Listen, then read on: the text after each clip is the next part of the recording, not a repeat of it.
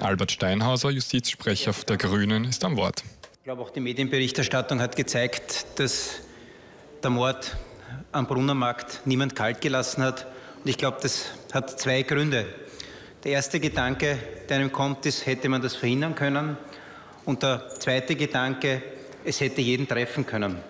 Und das ist, glaube ich, das, was, was diesen Fall auch so ähm, dramatisch macht, wiewohl natürlich jede Straftat und jeder Mord für sich äh, ein Drama ist. Und Herr Justizminister, Sie haben meiner Meinung nach ganz richtig reagiert. Sie haben nicht gemauert, sondern Sie haben gesagt, wir schauen uns diesen Fall an, nämlich genau auf die Frage, wäre das verhinderbar gewesen und haben diese Sonderkommission eingerichtet, weil ich schon glaube, dass es einige Fragen gibt, äh, die dieser Fall aufwirft und denen nachgegangen werden muss. Der erste Punkt ist die Untersuchungshaft. Äh, Sie haben das äh, sehr schön gesagt. Ähm, Untersuchungshaft kann nicht willkürlich verhängt werden, sondern folgt genauen gesetzlichen Vorgaben. Es muss einen Untersuchungshaftgrund geben und die Untersuchungshaft muss verhältnismäßig sein. Untersuchungshaftgrund, Tatwiederholungsgefahr, Tatbegehungsgefahr. Ich halte mich zurück mit einer Beurteilung. Ich kenne die Aktenlage nicht, aber die Frage drängt sich natürlich schon auf, ist zumindest nicht äh, auszuschließen. Der zweite Punkt, möglicherweise Fluchtgefahr, es hat keinen festen Wohnsitz gegeben. Der zweite Punkt, die Verhältnismäßigkeit. Naja, selbst die Gewerbsmäßigkeit neu, mehrere Vordaten wäre möglicherweise anwendbar gewesen. Ich sage es bewusst vorsichtig, weil ich den Akt nicht kenne dann wäre möglicherweise eine Untersuchungshaft denkbar gewesen. Es ist zu klären, warum es nicht dazu gekommen ist. Möglicherweise haben die Gesetze das nicht zugelassen, aber es ist richtig hinzuschauen, ob hier möglicherweise auch eine Fehleinschätzung vorliegt oder ob ex lege gehandelt wurde. Der zweite Punkt ist, und den finde ich äh, fast noch relevanter, weil ich möglicherweise dort äh, auch ein, eine Problematik sehe, warum ist diese Person, die möglicherweise, es liegt einiges nahe, auch äh, psychisch krank war, nicht äh, in einer psychiatrischen Abteilung untergebracht worden. Das wäre eigentlich der logische Weg, wenn man sagt, die Vordaten reichen nicht für eine Untersuchungshaft aus, aber es gibt Anhaltspunkte, dass hier eine massive Erkrankung vorliegt. Warum wurde diese Person nicht untergebracht? Und ich finde das deswegen eine wichtige Frage, weil wir schon immer wieder hören, auch im Zusammenhang mit Maßnahmenvollzug, dass ein Problem im Maßnahmenvollzug ist, dass äh, die Unterbringung im Vorfeld nicht funktioniert und dann Personen Straftaten setzen, die sie möglicherweise nicht gesetzt hätten, wenn vorher psychiatrisch reagiert worden wäre. Das ist, da haben Sie recht, auch eine Frage der psychiatrischen Versorgung. Und das ist natürlich auch eine Frage, die im Gesundheitsministerium zu beantworten ist.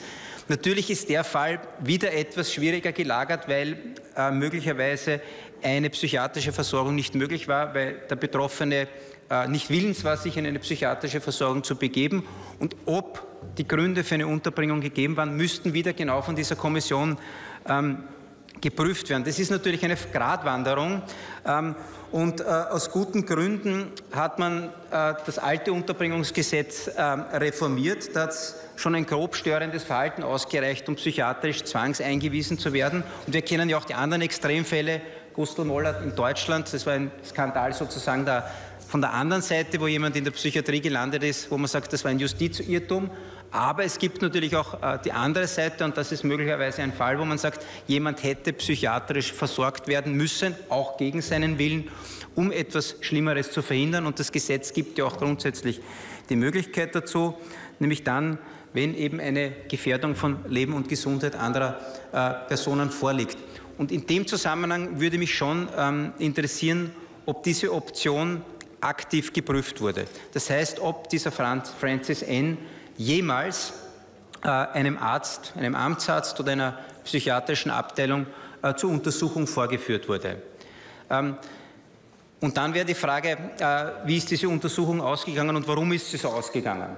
Das finde ich einen ganz, ganz springenden Punkt, weil dort möglicherweise eine Fehlerquelle liegt, warum diese Person in der Situation nicht ähm, psychiatrisch aufgenommen worden, äh, worden ist. Denn ich befürchte fast, dass diese Person, äh, der Francis N., nie einem Arzt vorgeführt wurde. Ja?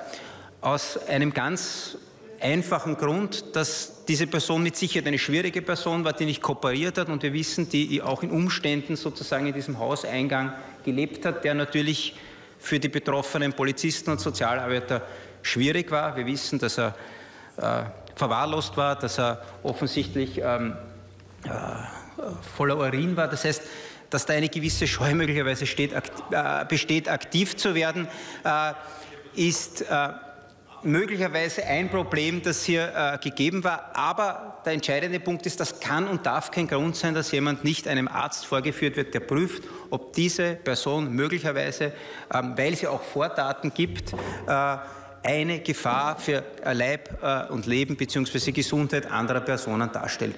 Und ich glaube, dass dort möglicherweise eine Fehlerquelle liegt, wo man hinschauen muss, wo man sich auch überlegen muss, ob erstens das System funktioniert hat, ob die Schnittstellen funktioniert haben, Sie haben es völlig richtig angesprochen, und ob das Gesetz in seinem Gestaltungsspielraum sozusagen passt. Das soll kein Schnellschuss sein, aber dieser Fall muss Anlass sein, äh, darüber nachzudenken, denn wir tragen alle als Politikerinnen und Politiker Verantwortung, die Legislative, aber auch die Exekutive, damit meine ich jetzt Sie als Minister, aber auch die ausführenden Organe wie die Polizei, ähm, hier sorgfältig vorzugehen. Wir sind für die Sicherheit der Bürgerinnen und Bürger zuständig und wir müssen die richtigen Schlüsse äh, aus so einem Fall ziehen, wenn Fehler passiert sind oder aber auch äh, über Gesetzesänderungen äh, nachdenken, wenn da und dort möglicherweise äh, Lücken bestehen. Ich bin froh, dass Sie diesen Weg gehen, dass Sie sagen, wir schauen uns das äh, schonungslos auf Basis der Aktenlage an. Ich sage noch einmal dazu, ich will mir kein Urteil anmaßen. Ich will aber, und das verlange ich, und das machen Sie auch,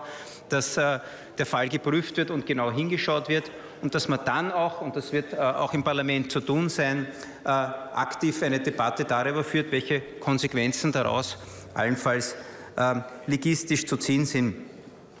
Insofern äh, möchte ich mich bedanken, dass Sie diesen Schritt setzen. Und ich glaube, hier gibt es eine breite Einigkeit zwischen Opposition und Regierung, dass wir hier Verantwortung tragen und auch reagieren müssen. Dankeschön. Der Fall werfe einige Fragen auf, denen man nachgehen müsse, so Albert Steinhauser, Justizsprecher der Grünen. Warum sei etwa der mutmaßliche Täter nicht in einer psychiatrischen Anstalt untergebracht gewesen, obwohl es anscheinend Anzeichen einer Erkrankung gegeben habe?